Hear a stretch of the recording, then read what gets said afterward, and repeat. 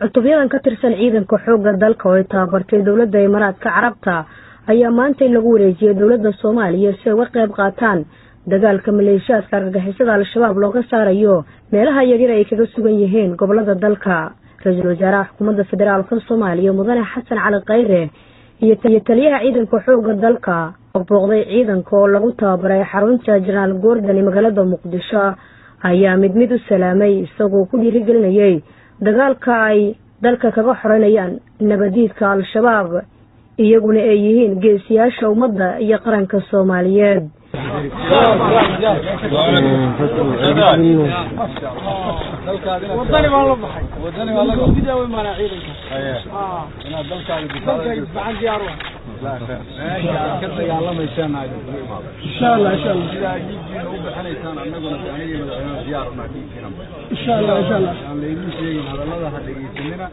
qalbigeenu waa saafi rajadii soomaaliya ugu fiicneed maantay jirta